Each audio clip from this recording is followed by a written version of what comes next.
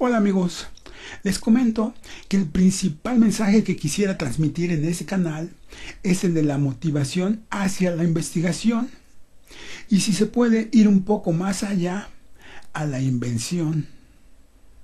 Procuren siempre ser creativos, que los conocimientos que adquirimos tengan esa finalidad. El video pasado trabajamos con esta identidad, que es una fórmula establecida de pi. Hoy quiero compartirles otra fórmula que diseñé para definir a pi con el uso de integrales. Quizás sea una tontería, pero es un buen ejemplo de cómo usar la información para proponer. Ya lo verán. Por otro lado, si me obsequian un par de minutos, les quiero platicar algo relacionado con fórmulas de pi. La grabación de este video fue el 16 de febrero y estará disponible hasta el 13 de abril.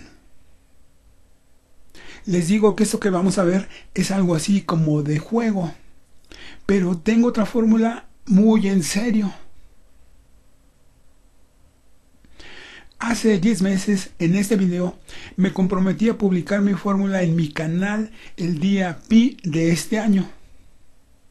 Es decir, el jueves 14 de marzo. Me quedan escasas tres semanas. El problema es que hace dos semanas conseguí trabajo y mi tiempo se ha reducido enormemente. No sé si vaya a cumplir mi compromiso. Cuando ustedes vean este video ya lo sabrán. Bien, ese es el comentario. Lo único que agrego es que el trabajo que conseguí no es de investigador ni la UNAM ni el Politécnico se interesaron en mi trayectoria ni en mis aportes. Es más, ni siquiera se dignan contestar un bill mail. En fin, comencemos los desarrollos.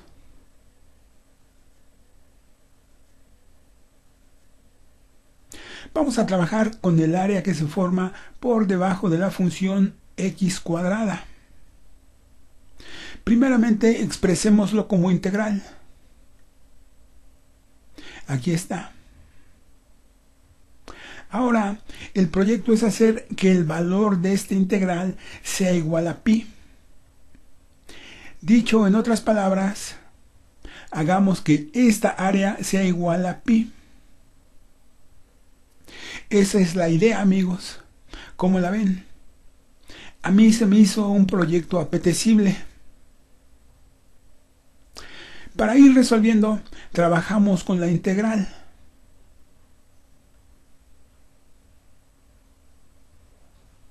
Aplicando su fórmula, tenemos que es igual a un tercio de x al cubo. Ahora aplicamos regla de Barrow y esta x la tratamos como b, como la del índice superior.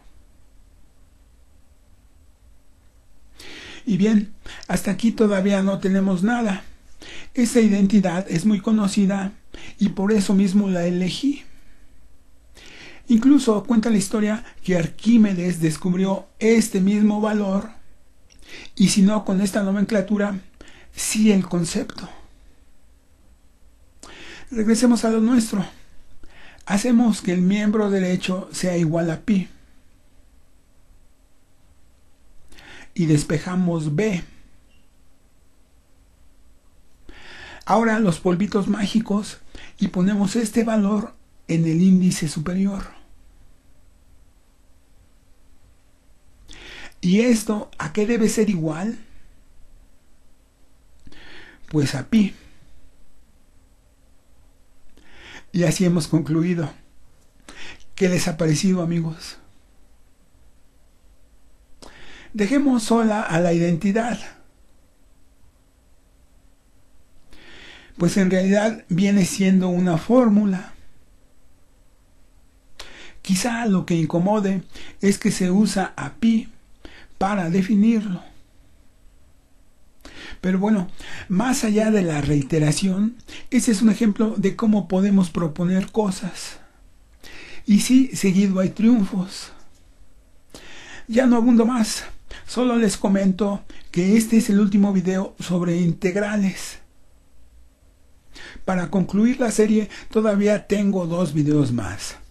Trataré dos asuntos importantes basándonos en conocimientos expuestos aquí mismo. En el primero vamos a revisar esta irreverente suma. ¿Cómo ven? ¿Es posible? Y para tratar de cerrar lo mejor posible, voy a incluir mi solución a la conjetura de los primos gemelos. Aquí no vamos a inventar nada. Como dije, todo esto está basado en fundamentos. Espero gusten acompañarme y por ahí nos vemos.